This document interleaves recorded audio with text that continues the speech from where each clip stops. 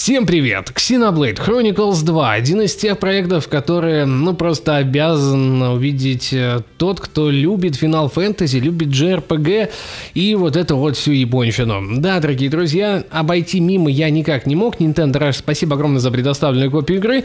А, вы подарили мне много часов интересного геймплея. Ну, в общем-то, давайте я готов рассказать уже, что ж там в итоге скрывается в самой игрушке. Я прошел специально немножко сначала на отдельной флешке по одной простой причине. Вы не должны получить от меня максимум спойлеров, а должны получить инфу по игре. Да, конечно, я вам сейчас расскажу много интересных особенностей, покажу различные геймплейные вставки, но все-таки как игра выглядит конкретно на самом Nintendo Switch, посмотрим вот буквально самый-самый первый уровень.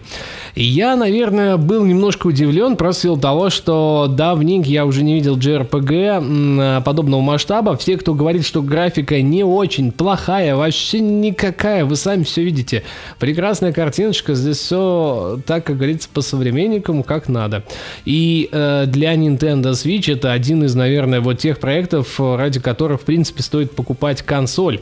Но э, вам стоит это делать э, исключительно, если вы прям реально фанат э, Final Fantasy, JRPG и всей вот этой японской тематики. Я не зря это сказал с самого начала. Прибавлю в силу того, что экран почему-то выдает какой-то странный цвет, а вот так выглядит все более реально, так как это и должно быть с самого начала. Так вот, если же вы не фанат Final Fantasy, например, 12, то вам здесь делать нечего. Эта игрушка однозначно не для вас, и вам ее смотреть абсолютно не обязательно. В остальном это, конечно, шикарный большой проект. Но давайте обо всем по порядку. Начнем с того, что в игре у нас действительно большой объем контента. А сама история рассказывается у нас с нуля. Привязки к первой части нет. Это, можно сказать, просто вырванный контекст из мира игры. Сам мир игры построен на том, что существуют некие титаны, а на их спинах живут люди. Они, в общем-то, огромные, и территории здесь тоже достаточно большие, но а сам, собственно, наш главный герой перемещается на таком вот небольшом. Он мусорщик, по сути, искатель различных ценностей и сокровищ, он их ищет, находит и перепродает. И, соответственно, у него есть свой маленький такой небольшой титан, где помещается буквально избушка на курьих ножках и все на этом. Вот, соответственно, главная завязка именно в том, чтобы спасти все человечество, потому что титаны начали умирать, площади для жизни становятся все меньше и меньше, но при этом э, люди стараются как-то выживать. Единственный, наверное, серьезный минус для вас может быть э, в том, что игра только на английском языке. Соответственно, если вы вдруг хотите русский язык, то, к сожалению, обломаточки, а знание языка здесь обязательно. И в этом плане, конечно, хотелось бы, наверное, чтобы это поменялось. С другой стороны, ну, друзья, в 2017 году вы должны знать английский язык, если приобщаетесь к подобным игрушкам. А, собственно, JRPG у нас обычно были либо на японском, еще в моем детстве, либо они все-таки имели какую-то локализацию, но локализацию исключительно на английский язык. Левые переводы, да, там пиратские, конечно, присутствовали, но мы их здесь не затрагиваем просто в силу того, что невозможно даже применить изменить было бы, даже если бы мы захотели. А, таким образом, а, это, наверное, самый большой минус игры. В остальном, а, мы действительно начинаем а, получаем контракт некий, и выполняя этот контракт, погружаемся в ту авантюру и заваруху, которая крутится вокруг абсолютно всего мира игры, и по пути спасаем этот самый мир. Вот если без спойлеров, то так. Но сюжет полон не знаю, наверное, самого большого количества эмоций, самого большого количества трагичных, веселых, э, предательских, дружеских эмоций, не знаю, взаимоотношений и так далее. Здесь действительно есть фактически все.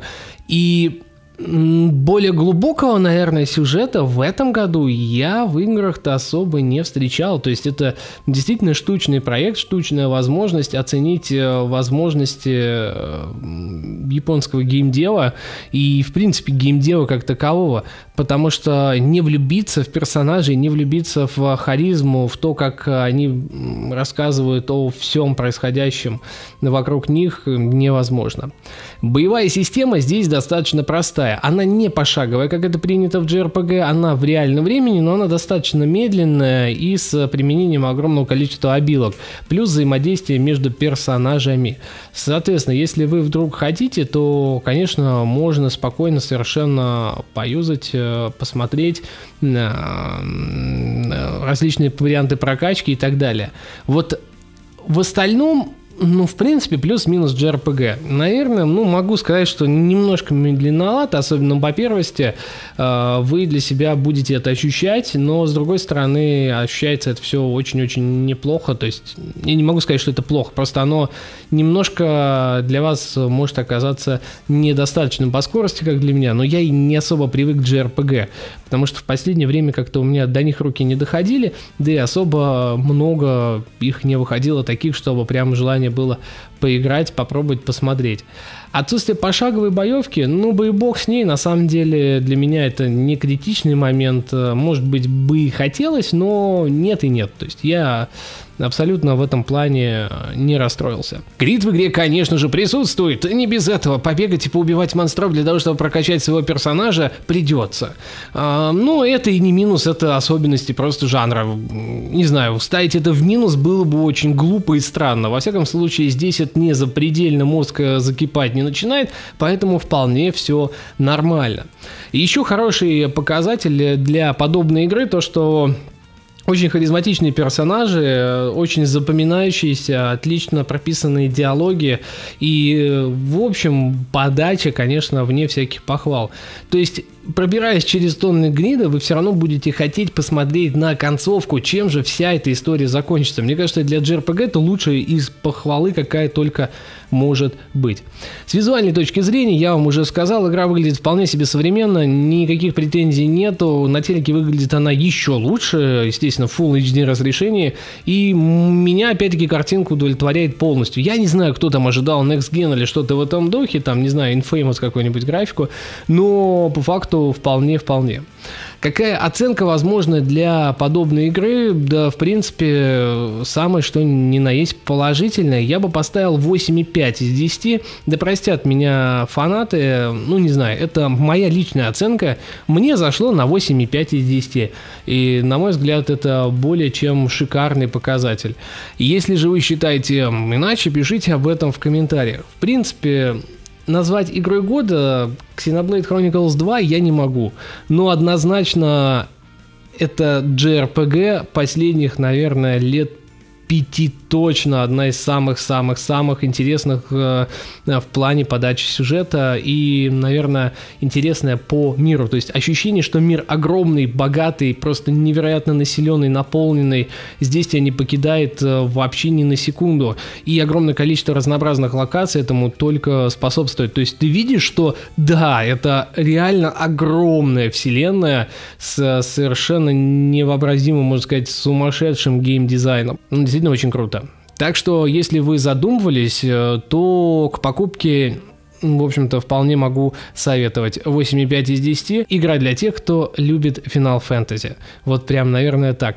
Потому что я не знаю, насколько можно здесь э, варьировать и насколько можно раздумывать, но факт остается фактом, что Xenoblade Chronicles 2 один из систем-селлеров для Nintendo Switch на ближайшее время. 100% фанаты подобного жанра, я про JRPG, останутся довольны. Они просто должны сейчас писать кипятком от счастья. Как это, кстати говоря, делать делаю я. Может, я не такой большой фанат, но мне действительно безумно нравится, какая игра в итоге получилась. Огромное спасибо, что смотрели. Не забывайте ставить большие пальцы вверх. Внизу есть соответствующая красная кнопка, чтобы подписаться. Нажимаем на колокольчик, если уже подписались, и нажимаем на все уведомления. И, соответственно, шарим данное видео у себя в социальных сетях, чтобы ваши друзья тоже увидели вот такой вот обзорчик на Xenoblade Chronicles 2. Как-то его незаслуженно обошли, не так много видео на ютубе на русском языке. Ну и, естественно, что правильно, пишем ваше мнение в комментариях. Мне оно всегда интересно.